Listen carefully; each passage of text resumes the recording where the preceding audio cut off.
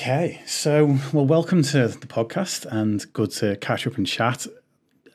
Um, Jess, why don't you tell us tell us your story in your own words, and then I'll interrupt with other questions. oh my gosh, like from the beginning, as, um, as however mean, you like to tell it.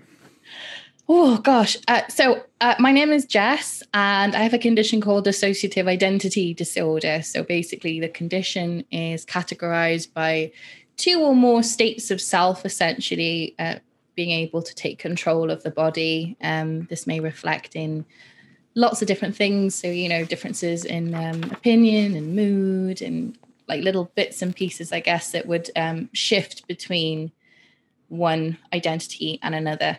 Um, so I was diagnosed at 19. Um, but I've been kind of aware of the people in my head from I'd say about like maybe about 13, 14 when um, a friend, you know, kind of broke up with me because she basically said that, you know, what I do isn't normal and, you know, I'm too old to play pretend now, but it, it wasn't pretend. I didn't quite understand that other people didn't have people in their head too. Yeah. Um, you know, so I, I that's kind of when I became aware and I kind of suppressed it for as long as I could. You know, I just I, I, was so adamant that I didn't want there to be anything wrong with me. I was really frightened of it, you know, to suddenly realize that I was different than everyone else. Um, so yeah, I tried for years to suppress it. And um, when I went to uni, it was just kind of chaos. So I was like 18 going to uni and really excited. I chose clinical and health psychology. And um, what I found was that for the first time, like my alters, which is what they're called, my alternate identities, they were just taking control and you know, maybe partying all night or going somewhere in the day when I should be in lectures. Like they were just living their own individual lives and it became really chaotic. Um, so the uni said, you know, in order to support you, we can recognize that this is going on for you. And um, I had an amazing tutor at the time um, that was, you know, determined to help me. And uh, she said, if you can get a diagnosis base, you can get something on paper the university, you know, can actually support you with what you need. So that's exactly what I did. I just went to a, a specialist and I said, look, I, I, don't at this point I don't care what it is. I just want answers. You know, these are my symptoms. This is what I'm dealing with. And uh, at the end of it, he said, "Yeah, you have DID." And uh, I've been trying to learn to live with it ever since. All right, awesome. Um, so when you say like you said, obviously you were aware of the the people living in my head. Think was the terms that you used. Is it? Are they the thoughts of these the, of your alters there at the same time as your thoughts, or are they two separate states of consciousness? Well, they, they're two. They're, they're separate from my own thoughts. So I guess if people had like an inner monologue, I mean, I have my own inner monologue, and I recognize that it's mine. The difference is, I think, when you've got DID, is that you've got other monologues that are very alien to you. They, they they don't feel that they come from you. They feel like you haven't thought of that. You haven't been thinking about that, or you haven't, you know, mentioned that, and suddenly you'll have this, you know, different voice and different, you know, thoughts, feelings, emotions, whatever it may be. Yeah. So yeah, that can be um especially at first it was very confusing because I would think, well, surely this voice in my head is either mine or, you know, something is really wrong so having those conflicting thoughts and I guess everything about me was um, really hard to live with. And I definitely had a lot of identity confusion and identity alteration growing up. That was that was the hardest was the confusion learning who am I? Yeah.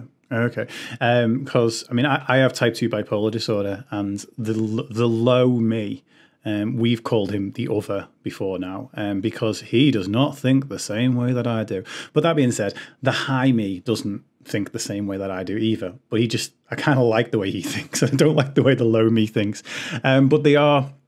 They're always, they are definitely my voice, and mm-hmm. uh, they feel like they are definitely part of me. Uh, and I know that DID like differs significantly in that. Um, when you say again, the dissociation is the detachment, if that makes sense. Well, yeah, that was the bit I wanted to kind of jump into a little bit more because you said obviously when you were in uni that the um, some of your alters were basically living their own life. Again, were you were you with a kind of the prime Jess version of you were they present during those moments and basically as if like you were watching from the sidelines and you had no control or is it literally like you have entire days that go by or time like time frames that go by that you are completely unaware of? Yeah i mean that that totally happened um in terms of my life. I felt like it was just slipping out of my hands you know. I you know, I, I just remember i was away for a good few months on end. I couldn't you know and um I think at that point it just felt almost shameful to kind of make myself come back and return and stand with what was going on and, and kind of look back and realize again what's happened. I couldn't take the shame of it. I thought, I don't want to find out. And I ended up kind of sinking into disappearance almost, like I wasn't around for months and months. And, um, you know, to be honest, I can't remember if it was the summer that turned to winter or the winter that turned to summer. But either way, I remember thinking, "Oh my god, this is an entirely different season." You know, I've where did this go? What's been done? Um, and I think, in a weird way, at that point, I realized that I couldn't do that again. I couldn't just let myself sink into like a a pity. I, I needed to help myself be present and aware and come to terms with what was going on for me. Yeah. Okay. Awesome. So you said obviously since the diagnosis, it's been a, a process of learning to live with this. What sort of what sort of changes and what sort of techniques um, have you kind of or realizations have you come to that help you to manage this better? Gosh, that's a really good question. Do you know what? When I had my diagnosis, the first thing I thought of was I had like a kind of a mixed emotion. I was sad. I was pleased that I got an answer, but equally I was devastated, you know, lots of mixed emotions. But ultimately, I was really excited that now I was finally going to have some help from mm-hmm. someone. Um, but there wasn't any. You know, I, I went to the specialist clinic and it was like a seven hour round trip from my uni at the time. And there was no extra help. You know, I, I took it to the NHS and they basically said that they don't have anyone that can help me or anyone that specializes with dissociative, dissociative disorders in um, in the county because I guess funding is different in each county um, for the NHS and um, basically they didn't know anyone who could help me. So i thought okay i'll uh, maybe try private therapy even though you know i was on a student's uh, wage and i was working full time and trying to kind of balance that. But i thought i'm so desperate i just need help. So you know i called around and i distinctly remember one woman that i talked to she just laughed at me down the phone. Like it was the most unbelievable thing she'd ever heard. And i thought oh my gosh And um, I guess in a weird way, it yes, it made me angry, but it made me more determined. And I thought, you know what? If no one else is going to help me, I'm going to have to help myself. And I think the biggest thing, genuinely, that's helped me is psychoeducation. It's learning more about my disorder and how and why it does the things it does. Because by understanding that, it gives me a little bit of control that otherwise I'd lost. Mm. So psychoeducation is definitely the biggest one I'd recommend for anyone, at least coming to terms with a, a disorder like mine. Um, you know, and understanding what makes them tick. Yeah, yeah, absolutely. Um, I feel the same way. You know, I'm, I'm um, reasonably well educated on bipolar. I wouldn't I wouldn't say that I've gone the full hog because going the full hog sometimes it's like reading the uh, side effects on medication. it's suddenly now hold on a sec. There's something that I didn't know that I, I might be feeling, and now I'm suddenly feeling it. Um, like there was a. There was definitely. Um, almost a, a, level of self-diagnosis you know good old dr google at one point but um but yeah i i massively recommend kind of if you do have a condition getting yourself educated on that condition and what it actually means, um, and then combining that lived experience with that um, that practical experience and that kind of learned experience as well, which is That's so important as well, Dave. Like you mentioned that, like practical, yes, your own experience. You don't necessarily have to fit in every single box, every single bit that you read, and I think that's another thing because you start then doubting yourself or doubting your disorder and then thinking you need to be a certain way or but that's not true. You know, I feel like the DSM, you know, the Diagnostic Statistical Manual, where all these disorders are kind of based off. Yep. I feel like they're a really rough skeleton, basically, for what could be or what could happen and yeah i think you know at the end of the day if you have a diagnosis you've you've ticked all the right boxes and yeah you shouldn't try and pigeon your pigeonhole yourself into a particular symptom yeah 100% and that's the thing is like um, we always we all talk nowadays about mental health being a spectrum but I think people need to hear more that each condition has its own spectrum within it. Mm-hmm. So, like, I mean, even bipolar, there's the obvious type one versus type two. I count myself lucky as only having type two um, because it's not as it's not as dangerous and not as intense as type one. Doesn't mean it's pleasant, um, but at the same time, it's like even within type two, there is I've I've met people with type two bipolar that their entire experience with it is different than mine. Um, I've met people within type one like that. Uh, their experiences differ from each other as well, and it's it's important to realize that. In fact, the, the phrase I actually use a lot of times instead of saying I have bipolar, because if you have a cold, you are symptomatic of a cold. I am not always symptomatic of bipolar. Um, I am.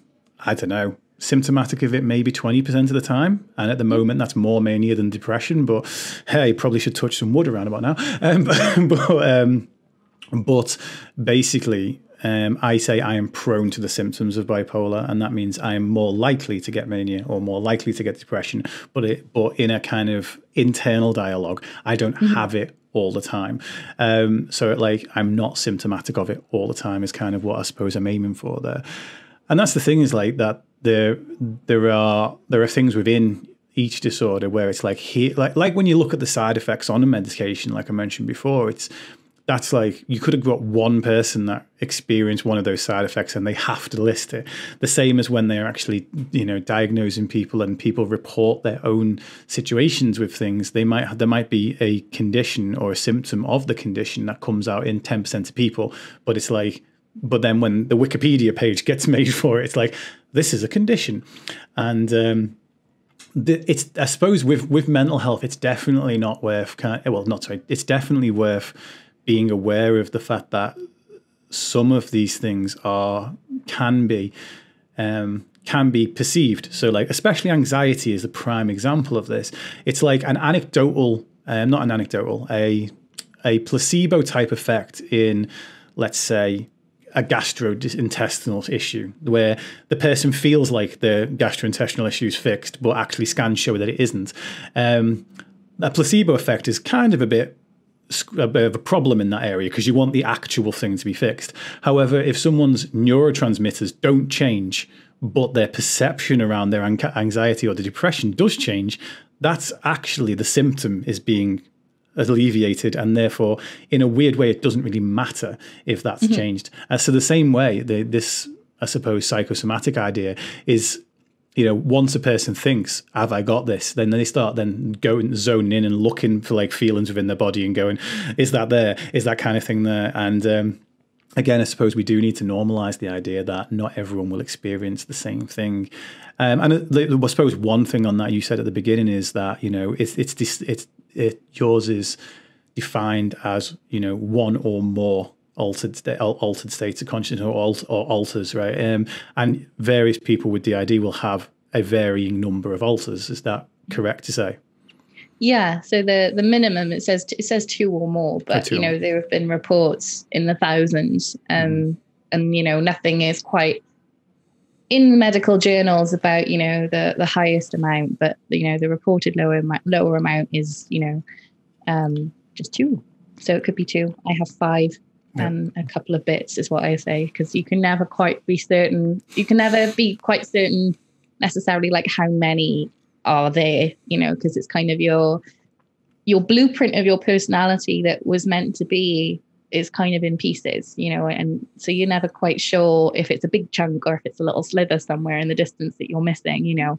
Yeah. And that's currently what we're, you know, trying to do really is is just rebuild our blueprint, help all those pieces come together and be more consistent, be more coherent, just and be able to kind of yeah, I guess just live like a, an easier life i want to say you know it's um some people choose to live multiply and you know kind of let their alters do what they want to do all of the time and live a very um you know, a life like that. But I you think, you know, in recent years for us, it's just highlighted that actually we prefer to be closer together and kind of handle one life. And it, otherwise, it's just too much to juggle. Especially, I think you know now I, I have a husband, I have a, a two-year-old, and it's it's for us it would just be way too much to uh, live completely separately like we used to. Yeah, um, I want to touch on the fact that obviously I know obviously your pronouns being they and them, but when you self-identify, it's always us and we. Um, is that something? Is that kind of what was the decision there? You know, like in terms of to was was there a point in which you actually stopped referring to yourself in the I form and started referring to yourself as an us form, and was that part of the journey? Yeah, do you know? Actually, I've been thinking about this recently. So uh, right at the beginning, you know, it was always I, mm-hmm. um, and I think, I mean, at least from what I remember, you know, I would always stress that it was I, even though I was then aware that there could be a we, I was very much an I. Um, and then, kind of around, I guess, the more acceptance of our diagnosis around that point and our, uh, the acceptance of ourselves being multiple, that's when I started to use we. Like I, I felt like, yeah, you know, it's a team, right? Team effort, we're a we. We're not an I, we're a we. Um, and it's quite funny now because now we're coming to what we feel is like the tail end of the journey. We're kind of, we've gone through the slope and we're kind of down here now. And we're trying to use I a lot more because we understand that we're all pieces of a whole puzzle, basically, you know, and we're trying to, yeah, like I said, just just kind of identify more with each other. So we we are we are still interchangeable. We still do use we, um, but it's much less so than it used to be, even a year back, year or so back. Yeah. Um, we've had specialist therapy this last year, and it really has. I mean, we've been, you know, giving ourselves, I guess, self help and self therapy for the last ten years. So you know, Bobby I kind of feel three that got 100 of their bits out. We did Thank the bulk you for having Jess on to share her story. She and, her system are so wonderful. Has, um, yeah, just really helped kind of untie those knots that we couldn't necessarily untie ourselves. ourselves. And yeah, we're at a point where we're kind of aiming to, in the future, be one whole again. That's where that's our vision, I guess, in terms of recovery. Um, but not everyone with DID wants to be whole again. And there's something called functional multiplicity, where I guess kind of where we're at now, where you can live functionally as multiple without having to be one person. Yeah. So you mentioned before that you have five alters. Is that you plus five, or is that five including you? Five including me. Yeah. Okay. So um, the host is also an alter, or the the core part, or whatever you kind of want to use the term. Um, yeah, so I'm also an alter as much as the other alters. I often say my alters because it feels that way sometimes, but that's not the case. Kind of like I said, we're all parts of an overall puzzle. Okay, and what? Who are the other alters?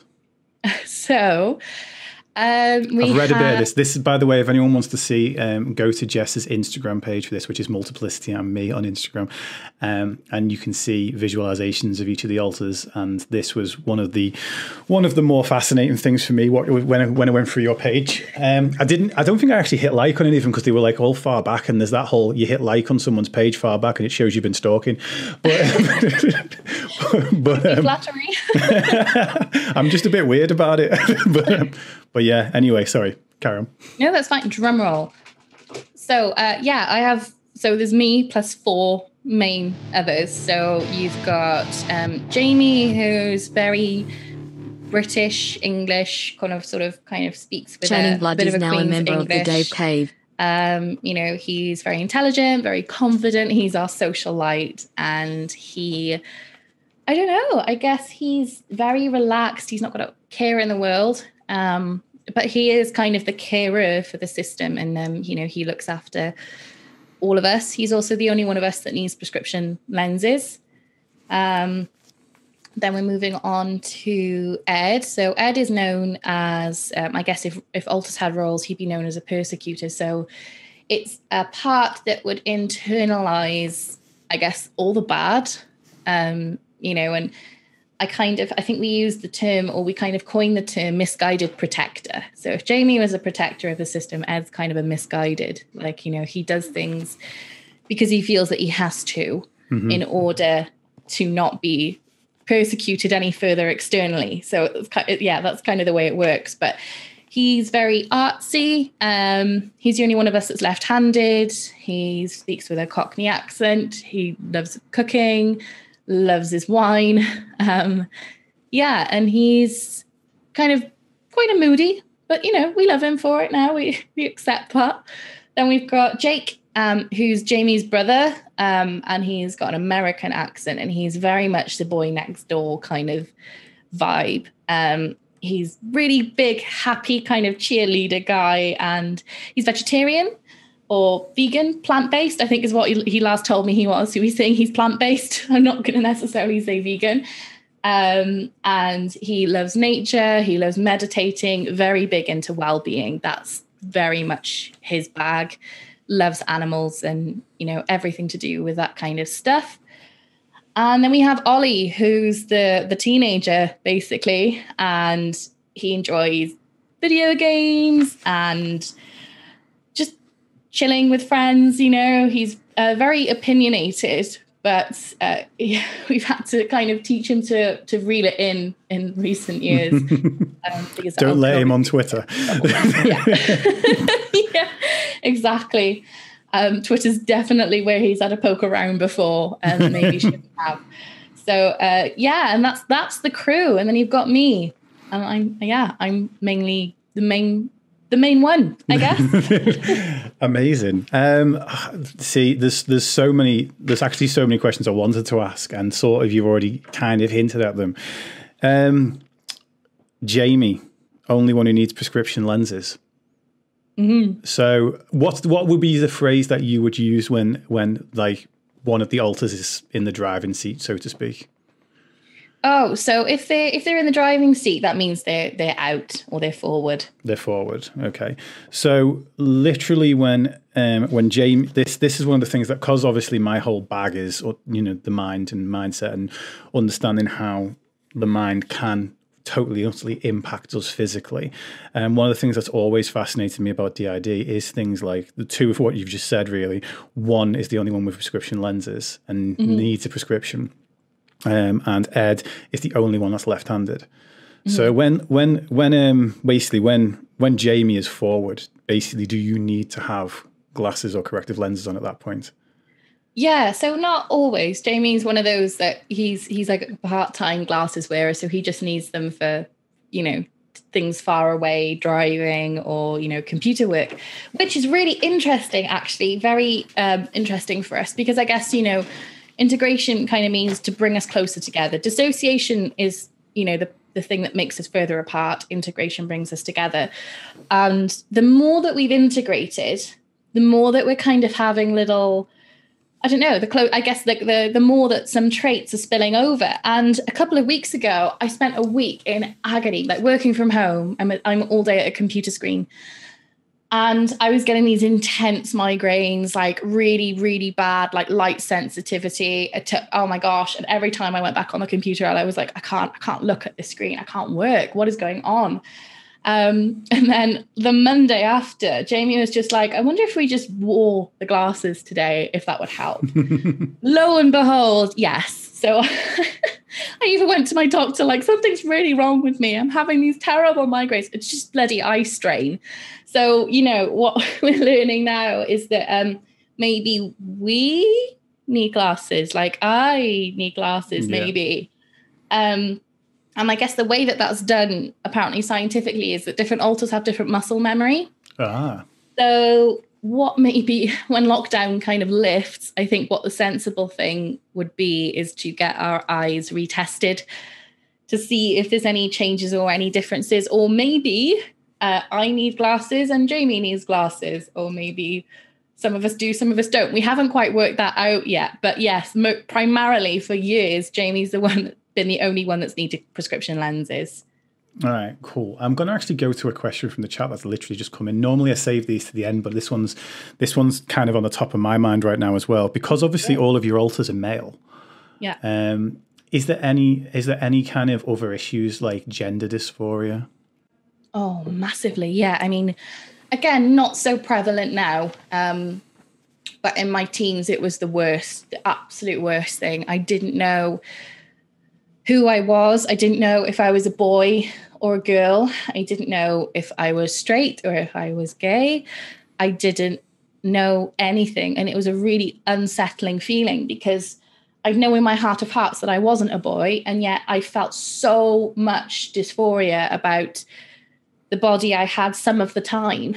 Like I would just cry in the mirror. It would just be dreadful. And, you know, later working out that Jake is the one that holds the most gender dysphoria. So he really, really holds that close to his heart. You know, he would often bind our chest and he would dress in baggy clothes and put our hair up. And yeah, he would kind of live his own life. I'm kind of, you know, I guess, well, in a weird way, I'm kind of ashamed to admit that, you know, Jake even used to be kind of a catfish online because um, he'd have his own profile, he'd have his own, you know, but he wasn't intending to catfish anyone. He just wanted to be himself. He yeah. wanted to have a space to interact with people who genuinely just see him for him.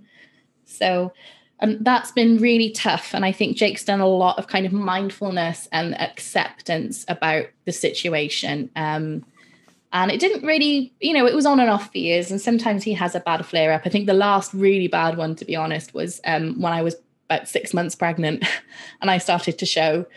And um, he disappeared then for like, oh my gosh, I think another six months after that. He wow. was like, I can't use it, I can't handle it, which is fair enough. And he needs to do whatever he needs to do to feel comfortable. Um, but yeah, gender dysphoria definitely exists. Um, although I'm very thankful, not so much now since Jake's kind of been working on that within himself. Yeah, amazing. Um, going back to kind of Ollie as well, you said that he's the teenager. Is he always a teenager? Like, does he not age? He did age um, for years and years and years, and then he hit 17. He kind of aged with the body, and then he's hit 17, and he didn't age this year, which he should have been 18. Did he? So, he must have um, read that whole "Don't grow up, it's a trap" meme. yeah, it yeah, is. It's totally a trap. surprised. He loves his memes. Um, yeah. yeah, but he's just I don't know. I think he's in a way he's like that inner child that everyone has. Do you know what I mean? He's that part of us all that we all have that kind of have that want to feel young or be young and you know even though he's kind of 17 sometimes he's really young at heart so you know he's all about the turkey dinosaurs the chicken nuggets the the fish fingers, you know, and um, good lad, that kind of stuff. and, you know, and again, like everyone has that. Even I kind of have my own inner child, not DID, but you know, I mean, the same thing. You know, where I just want to be cuddled and watch Disney films. You know, same same kind of thing. Yeah, there's a lot of love for you in chat, by the way. Just thought I'd, um, there's a lot of people. everyone who's in chat, I'm not ignoring you. I just normally leave it to the end, but because you've just been so much love, I just want you to all know that I am seeing it out the corner of my eyes. That's um, so sweet. I didn't load it up because I was thinking of lag. I was like, what if I load up your channel and then it lags this one? So it shouldn't. It, it, doesn't. It doesn't normally, but it can be. It can be horrendously distracting. like, um, but yeah, um, I'm just seeing if there's any. And apparently, some of my alerts were still on on the actual stream, but hopefully they're not because I'm recording it on my computer as well. So I'm hoping that halfway through, thank you, Bark, for mental health coming in with the raid as well. Um, so if that does happen halfway through the podcast, someone's going to hear a big dun, dun, dun, dun, dun, um, which is a huge sort of Viking horn. I'm just kind of having a little scroll to see if there were any other questions about from the chat. Um, okay, yeah, because while we're still talking about the the, uh, the alters and stuff, how frequently does an alter pop up, and would you say if they do, it is controllable, or do they pop up with triggers? Interesting. Again, there's kind of lots of answers within that one question. So alters can be triggered out, yes. Um, they can be triggered out in a positive or a negative way. So I mean, I think again, I was kind of one of the first on the field to use the term positive triggers in terms of you know getting alters around, um, because I guess we found that like ice cream vans, for example, Ollie would always be like, "Yeah, bro, like I'm getting a screwball," you know, first thing. Good um, choice. Um, so that would be like a positive trigger. Um, a negative trigger then would obviously be something where it sets off a trauma or a memory that invokes another part to come forward. Um, so yeah, so again, just something negative that can bring another part forward. Um, in terms of is it controllable, I would never use the word controllable to describe DID. I would, however, say it's manageable. So you can manage it, like I think with any mental health disorder, you know, to to a point, um, but you can never say never. So as much as you know, like today, for example, um, not I mean, not that I've heard from anyone today. Actually, today's been really quiet. But today, for example, we'd usually talk around the fact that, right, okay, who's going to be doing this? Who's going to be doing that? You know, and it's kind of made an agreement, and then that person just gets on with it, you know. So, um, like if uh, Jamie wanted to go, I mean, again, pre lockdown, wanted to go to Cardiff to see some friends, he'd say, okay, on Saturday, I'm going to come out and go see my friends, you know, and we'd all be like, yep, cool, that's your time. Um, but again, some things happen, and sometimes it has happened where Jamie's gone to see his friends, but Jamie's not been the one out. So we're kind of just going anyway in hopes that when we get there, you know, Jamie will come forward. But again, it's not always guaranteed. So I think as much as it's manageable, it's not always, you know, a promise, if that makes sense. Do your alters all have their own friend groups? They I think they used to more at uni. That was definitely more of a thing at uni. I think more so now we have our like every friend is all of our friends, if that yeah. makes sense. Like everyone is I think everyone's got their preferences or everyone kind of identify with a different friend group. Um, like one of my bestest friends is from childhood and I, you know, but actually the other alters have never made themselves known in front of her, never done it. Oh, wow. So she's my friend and I'm quite protective about that. I think that was more of a past issue than I am now. I think, but I think more so now the alters just kind of would probably feel a bit uncomfortable now about presenting themselves after all these years. Um, yeah. But you know, she's my best friend, and I've been very protective about that. Um, so you know, she she knows me, and that's it. But then, um, yeah, I think um, Ed, for example, like his best friend is a girl we know at uni called Joe and um, they did so much together at uni and they're like like this you know? So again like yesterday i actually spoke to joe on zoom like we had a little catch up but ed wasn't around. So again perfect example but you know i'm still happy to chat to her still happy to update her and i'll pass that on to ed when he's about next. Mm. This might be a, a, a, too personal question, so if it is, tell me to shut up. Did that's they? Fine, but did they all? Did, well, did they? Any of them have different romantic interests? Because you said obviously earlier that it did make you question your sexuality quite a bit. Did, did like did each of them have different? yeah, interests? actually, um, yeah, and I think that again, that's been quite hard because you know, Gaz and I, my husband and I, have been together. I want to say like coming up like thirteen years now. I think we've been together. Um, so again, I think at uni when we had far less cooperation, far less control, that was probably the worst of it. I know that Jake kissed another girl when, you know, he was we, he was about 13, 14, you know, again, just a friend. Um, and then again at uni, um, had a night out and yeah, got a little bit too merry with another girl. However, um, his dysphoria anyway kind of stops him there yeah. or stopped him there because he was like i can't like which is good for me thank god.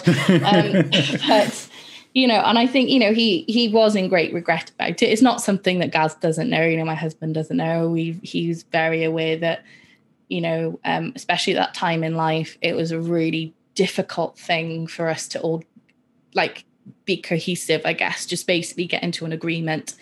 Um I mean, so it's hard enough very, trying. It's try, hard enough trying to figure out your sexuality, like and what it all meant in the world as a teenager, right? anyway. So combine four other opinions into that. I can't imagine that was easy. Exactly, and you know they all do have their own sexualities, which makes it even more complex. Probably why I had such a hard time understanding, you know, what made me me. Um, Jake is a straight male, and that's you know again. So this relationship has always been really tough for him, and I think you know, maybe deep down that was his little way of saying, I'm just going to pretend to live my own life. I'm going to pretend to do this for me. Um, which is also why he's never kind of emotionally got attached to anyone because he knows that he would find that very difficult to pull away from and it would be very complicated, obviously. Um, but thankfully, nothing since.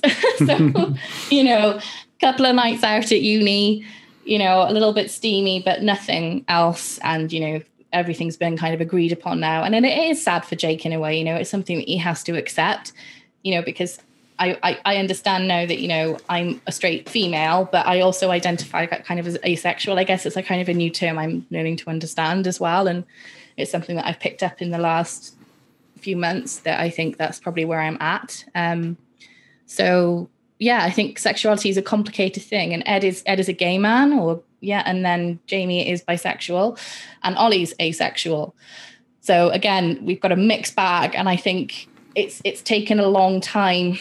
I think I want to say as well, I think it's important with DID or at least for us in our experience, to initially compartmentalize who belongs with what and where. So again, you can understand things like, okay, whose feeling is that? Whose whose you know attraction is that? Yeah, and you can understand where it's coming from. But equally, towards the end, if you do want to move towards integration and do want to kind of move closer, yeah, it's kind of more about undoing those boxes and kind of understanding that again things like gender and sexuality they're all on spectrum. Yeah. So you know yeah. Yeah 100% all right awesome um, right i have two more main questions if anyone in the chat does want to ask any questions um, please do get them in the box now and um, they will get asked in a moment remember to at me so i can see them and find them easily um, yeah, I want. There's two more questions I want to ask. One is about the work that you now do, but I want I want to leave that until the 2nd one because I want to get I want to get this question out the way and kind of dealt with first. Um, we talk a lot on this channel about how um, various conditions are displayed within the media, and by media I don't just mean you know the papers i mean movies and stuff obviously in the last few years there's been a very very very famous film um, called split um, the only time DID has been mentioned in, in our channel before, because I refuse to talk on things that I don't personally understand, and like so, if someone wants, to, and we we actually yeah. haven't had someone, we've only had someone who had a friend with DID come in and talk about it, not the person themselves. So we try not to kind of add our um, mm-hmm. add add our un, our non-understanding voices to the to the mix unless there's an un, there's an understanding voice at present. Um, so I've been waiting to ask this question to someone for about six months now. Um, are you familiar with the film? Oh yeah. Did you watch it? I did. Okay. Um, what sort of impact? Did, okay, first, I mean, and we know it's a, it's a, it's not supposed to be accurate anyway. But what sort of impact did that have on the DID community?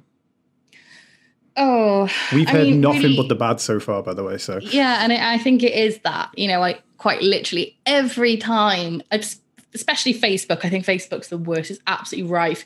Every time that you know, DID gets mentioned somewhere. So um, a friend of mine recently did something with Lad Bible, um, talking about her DID, and the comments are just littered with "It wasn't me, it was Patricia." You know, it's kind of this line that forever lives on. And thanks to this film, it's been made into a meme again mm. that can take the piss out of something that's quite sorry, I didn't mean to swear. Oh, take the Mickey. It's, it's okay.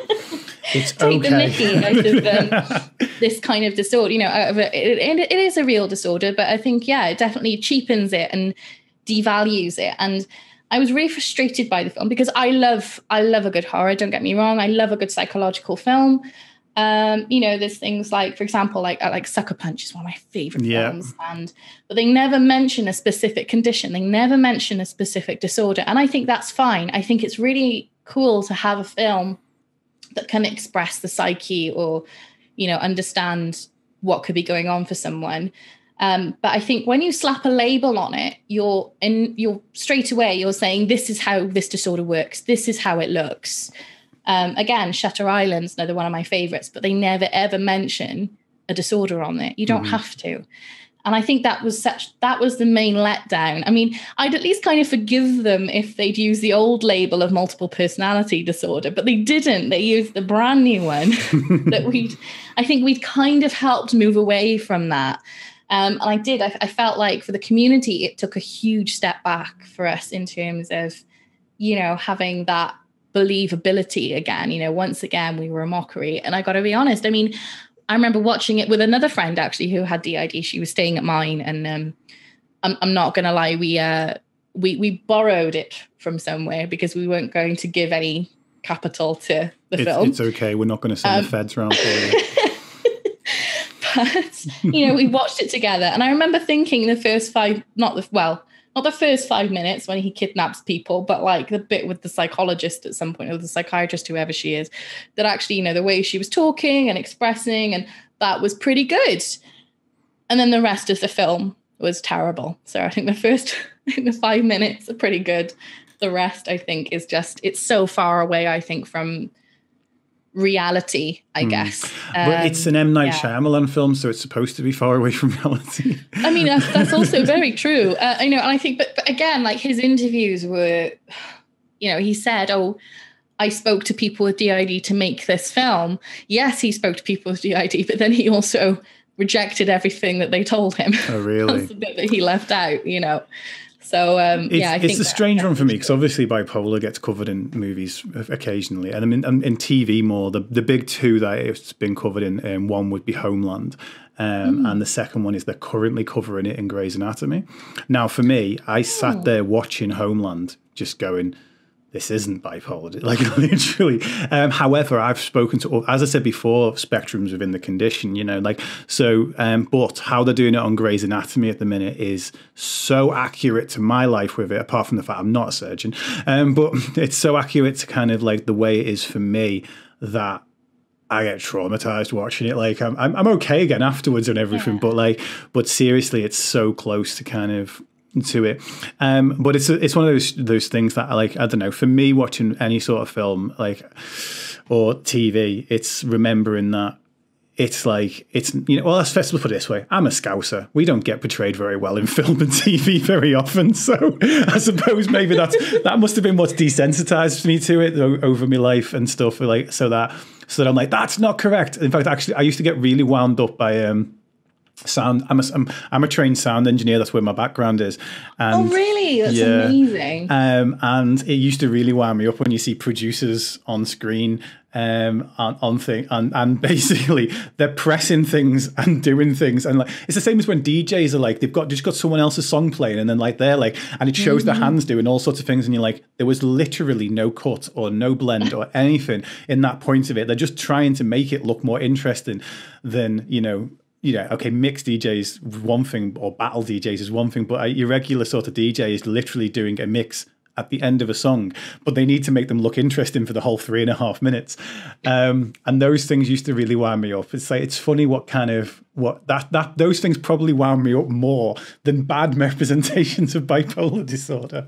I've yeah, got- and you know, I think it's it's almost one thing being bad. I think it's another one when you know, you make somebody with a disorder a murderer. I think, you know, because again, people with mental health, I'm sure, as you know, are much more likely to be victims than perpetrators. Yeah, correct. And I think, regardless whether it, it was split about DID or a film about bipolar that portrayed the same thing or schizophrenia, whatever it is, I think Hollywood really needs to move away from demonizing mental health in that way. And yeah. um, I think, you know, some of the worst crimes that have ever been committed are by people who are completely sane or so they say, you know, um, who don't have a label to them and just did these acts because they wanted to. And, you know, maybe we can just focus on that. Maybe it's not all about yeah. you know, having a label. I mean, I'm in I'm in completely two minds about that because on one side it's like, right, we need the stigma removed and we need we need people to kind of for it like for a fact accept the fact that actually there's more there's more dangerous people without mental health issues out there than there are dangerous people with mental health issues. Um, However, at the same time, there are also dangerous people with mental health issues. So it's, and I want, I want what I think of it as always. My big goal is what is a truly normalized and equal conversation around mental health. Mm. Um, and to me, it's like if you if you did that for like the next 10 years there's no one no one with mental health is allowed to be the villain in a thing eventually we'd probably turn around and go well that's prejudice why can't we be villains you know it's like i feel like you know it's strange what the path to equality really looks like. You know the, the path to so equality true. usually mm-hmm. needs things to swing the opposite direction first in before it i re- think that that's the thing. I think maybe it's just the fact that the scales are so much more heavily in that side of the court you know right now than the other. And i think maybe yeah if it was a balanced representation then it wouldn't be so bad because every way you go things get exacerbated by media, right? You know, the portrayal of something or something that's happened is they use a lot of you know emotional words or emotional representation to gauge an audience because that's what it's about so maybe yeah i'd be more up for that i think yeah. right now i wouldn't mind so much if there was not a film or anything or a media mention of anything bad again in the next five or ten years but yeah. um yeah, I totally understand what I, you're saying. It's yeah, a really good perspective. I was going to say that oh, you, I literally spend my days thinking about what is a normal conversation, um, and my big rule around it. My big rule about normal conversations is like we don't like you know when you said piss before and you're like oh I've swore. It's like first of all, if someone comes into my chat and says I'm so fucking depressed, we don't go language and then let's deal with the depression. You know, it's like let's deal with the depression first. Um, it's like, but it's. Um, but it's one of those things, a normalized conversation to me. Um, I mean, I've you know like i i don't use i don't use trigger or content warnings i've i've had a lot of people disagree with me because of this but my reason being is that i want a truly normalized conversation around mental health and normalized conversations don't have trigger warnings so that's like really again really interesting perspective because i used to think that exact way um, mm. a few years ago and then i'm i'm now back on using trigger and content warnings um, because I understand, even though I'm I'm up for a rough and ready real conversation, people reading might not be might not be in that place. Uh, again, yeah. that's that's totally I, I can see both sides. I yeah. can see where people are at, you know. No, it's it's a really tough one. It's like what is the right answer? None of us know yeah. it. No, like none of us know what the right answer to deal with mental health is. Um, so I have to kind of just sip. I mean, I, but it's it's funny when people ask me, "Oh, why don't you use it?" or "Why don't you do this?" or whatever you know, it's um, there's, there's a kind of running joke in our household where, in fact, my wife's literally walking past the door as I'm saying this. Do you want a coffee? Uh, yes, please. Um, so I'm going to talk about the blue sky thinking thing, Cots. Um, so when when we were on holiday, um, my wife, like just before Christmas, my wife was like, "So what do you think the actual future of mental health is going to be?" And I'm like, "I don't know." And she's like, "Well, why don't you just brainstorm it?" And I was like, "You think I've not?" Brains. like, do you think I'm? I like. I was like, I spend all day thinking about this, and the answer I've come to after spending all day thinking about this is, I don't know. It's like, and, um, but like the the funny. That's just to me when everyone says let's normalize the conversation around mental health. My thing is right. Well, normal. It's like you know it, and we I think about the stigma and how the stigma is contributed to both by those who don't understand mental health, but it can also be contributed to from the inside by us. Mm-hmm. Um, for example, yeah, that internal bias, uh, right? Uh, yeah. For example, whenever we talk about suicide, it's now it's now um, basically talked about that we don't use the phrase committed, mm-hmm. right? I won't even put the two words together because I'm not doing it just to be kind of I don't know what's the word I'm looking for here. uh, notorious right now. Um, but but um, I've I was actually in a talk once where someone was telling the story about um, their friend that took their own life and used the phrase committed, uh, and someone in the crowd shouted up, oh, "We don't use that phrase anymore." It's um, it's not helpful and all the rest of it. Let me tell you, that wasn't helpful either. Shutting that person down. No, that person definitely. was that Re- person reading the room, isn't yeah, it? Yeah. That person was like, "Oh, okay, then. Well, I guess I'm done with my story." And I was like, oh my gosh, that person's now is going to think twice about opening up about their mental health. And someone who was trying to be a little bit woke, um, you know, someone that was trying to kind of keep up to the times with these things. Um, and I understand why we don't use that phrase. It's because suicide isn't a crime. It hasn't been a crime since the late 60s. Um, but but telling someone we don't use this phrase while they're in the middle of telling their story, it's like the greater good was not being worked for there. So, yeah, that's, that's so like, so interesting. So, because we get that, and that, and the thing is, we work with a truly international audience when we're when we're on Twitch. We've got people from Canada, India, Albania was in earlier, um, and we've got people from all over the world. And it's not the the terminology has not been updated in a lot of those places. Mm-hmm. Um, in mm-hmm. some of those places, it still is a crime. So, mm. so people are going to use the language that they are familiar with using, and so yeah, this is, I guess, again from my because I guess from my professional experience, I'm not saying necessarily I'm a professional on all mental health, but from the training that I've had, that is totally right. You know, you never use the word committed, and it's not the, the thing to do. However, you're also taught that you need to reflect the language that your client is using or the 100%. person in the room is using with you. And I feel that's more important you know, to reflect the same language as that person is describing to me. If someone is telling me that they're thinking of committing suicide, I'm going to reflect that back to them with their same language. Yeah. Even though, you know, if I I kind of keep that to myself in terms of, you know, if I'm giving a presentation on it, for example, or something, I won't use that term, you know, yeah. just to, but again, yeah, I totally, totally understand that. And I think, yeah, that's, that's really, really important. I think being more personable, you know, adjusting yourself to the person you're talking to is, is more important, I guess, than, uh, yeah. Yeah. One hundred percent. Um, okay, cool. That leads me on to like this. That should have been a short, a short segment. And it no, really I was. really enjoyed that. I really enjoyed that. um, I should learn to not gag in on my own podcast. Um, but because yeah, I talk too much. Um, but um, so tell us about what um what your kind of role is through through now. Like I know obviously you're um, you know, your work. Uh, uh, well, tell us about your work that you do now, and include well, your Instagram that, page and so on. The the exciting thing in a way is that I'm I'm literally in between the the roles. So I'm I'm got a couple of weeks now just to put my feet up before I start my new position. So beforehand, um, I was a team leader of a vulnerable person service. So um, we'd manage basically big things and little things in basically the whole of the community.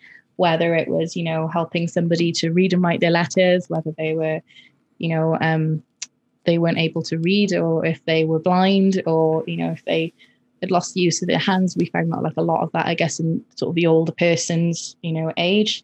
Um, or if it's you know preventing evictions and um, helping people move home or it was my gosh it was like everything.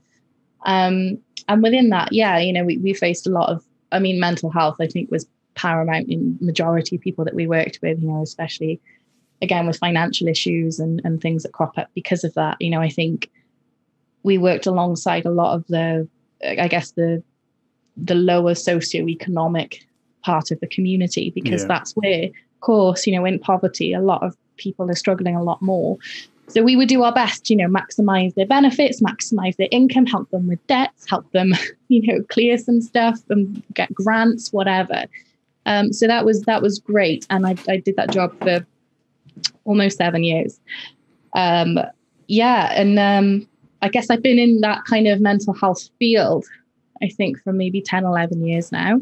Um, and I'm moving on to be a psychological well-being practitioner. Very fancy title, um, but it's it's in the NHS basically. So um, I'll be based at GP surgeries, at doctor surgeries, and somebody will come and say, you know, how they're feeling, what they're dealing with, and um, I will be able to direct them, you know, primary care, secondary care, or I could um, basically sort of take them on with therapy short term uh, under CBT.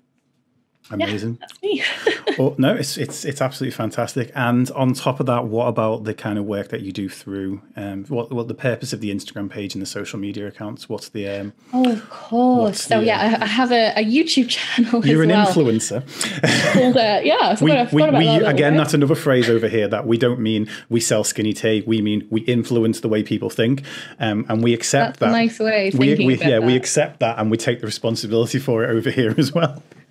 Gosh, yeah. Again, I started when I was diagnosed. I started my YouTube channel when I was diagnosed back in 2011. Um, but I felt, you know, the world wasn't quite ready, and I faced a lot of um, backlash, a lot of negative comments, and I ended up deleting my channel. Um, so I started it with a with a good try, basically, to get everyone to understand that I wasn't someone in a Hollywood film you know, with an axe. I wasn't that person. I was just a uni student trying to understand and live with her disorder.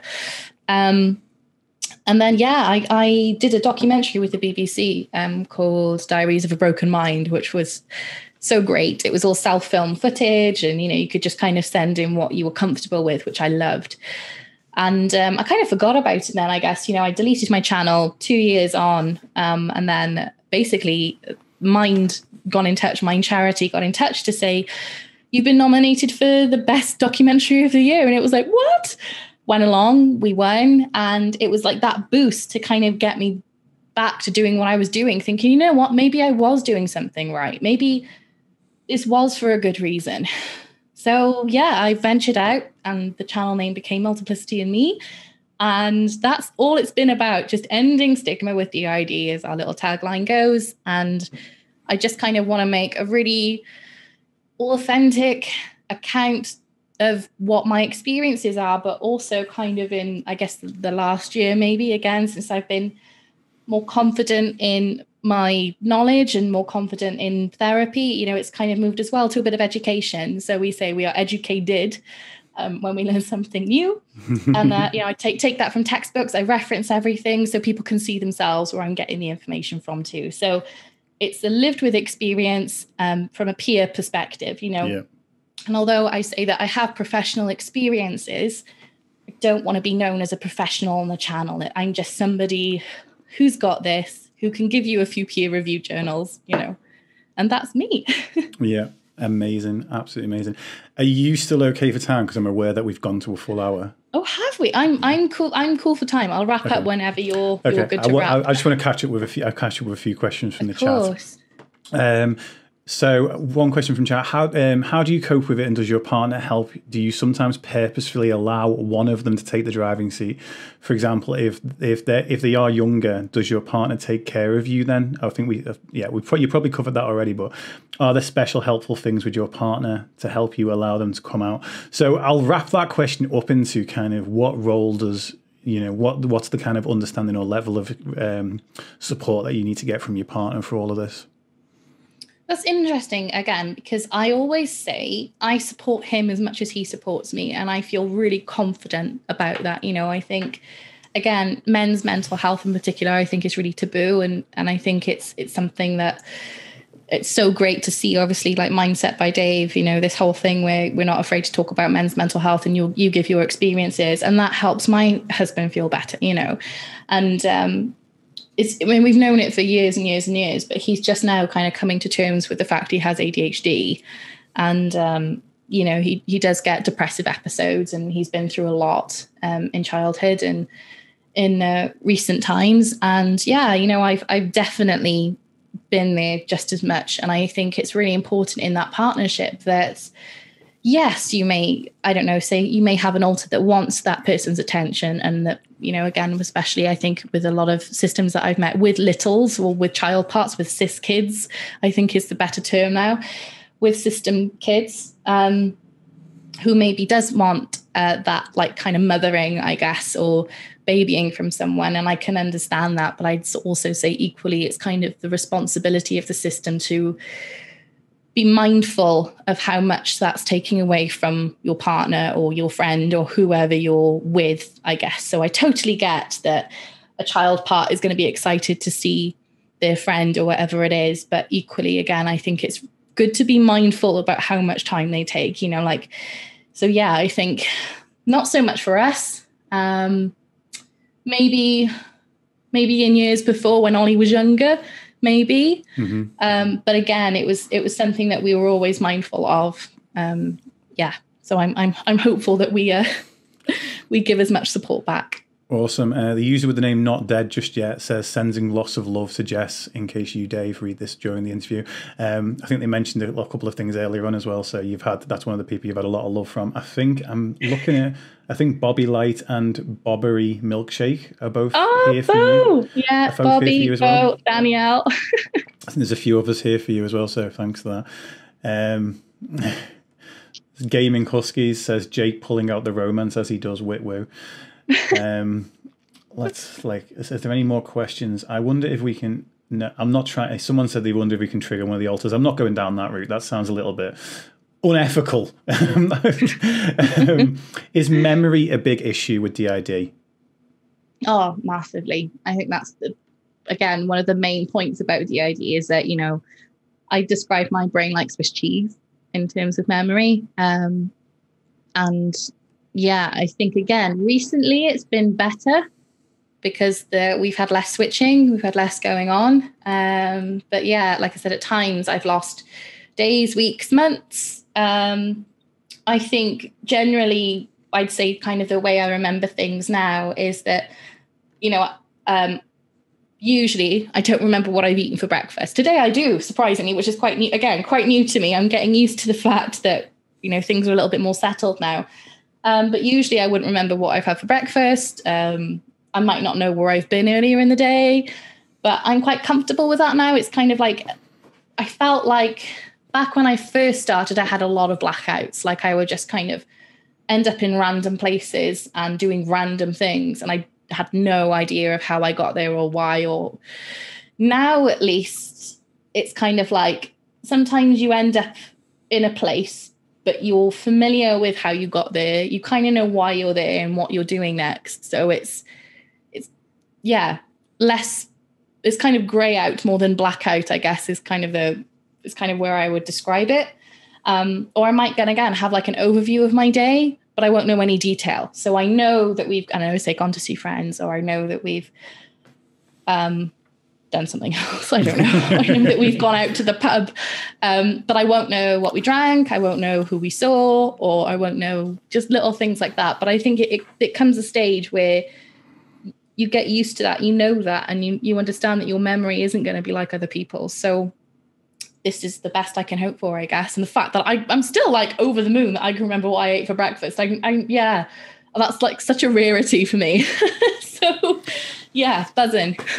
um, one final question from the chat, and then I've got one, well, two, two technically to finish off closing questions. One is, um, how do you get to know your alternates? Oh, um, so time is definitely something. I definitely didn't get to know everyone overnight. Um, my alters are quite unusual though in the way that they're very much separate. They have very strong identities. Often with DID, that isn't the case. So we are more of a minority rather than a majority. We are more the stereotype of what you'd expect.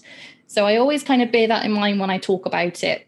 Um, but yeah, I guess just through time and getting, I guess, listening understanding like you know those feelings of okay whose feeling is that whose thought is that who thinks this who thinks that you understand then where they belong to and what that kind of thought process is you know um so like you know learning for example that ed is a big fish fan he loves sushi loves all that kind of um, the asian style food that's his preference you know and, and that would be through listening to conversations and like guess feeling those preferences because you don't always get a verbal nudge, sometimes you just feel like you want something or feel that you need to do something and you identify then who that feeling belongs to. Mm-hmm. so that's kind of yeah a long time many years of identifying those sorts of things i guess. I now know again preferences people's likes dislikes you know and things like that. So i can really build a picture. Yeah.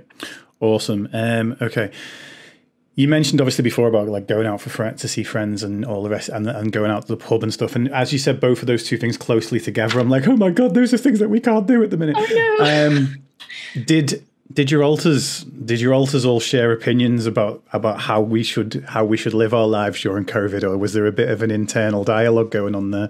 Oh, that's interesting. No, I think we're all very much um, in team stay at home and save lives. And you know, I think as well going over to the NHS, I think I would be very. Um, yeah, I was. yeah, if I if I didn't also agree with that, um, no, I think yeah, there are because there are of course things that we agree on as well, and I think again that's the big push in terms of stereotype is that everyone needs to be vastly different and have all these vastly different thoughts. But again, that's not always the case. So at least not to my knowledge. I think everyone's been quite happy with the uh, the don't go out. I know Ed very much misses shopping, which was his like big thing. So um, you know, now he gets to suit and boot up, gloves on, mask on, and go into the shops at two meters apart if absolutely when and necessary.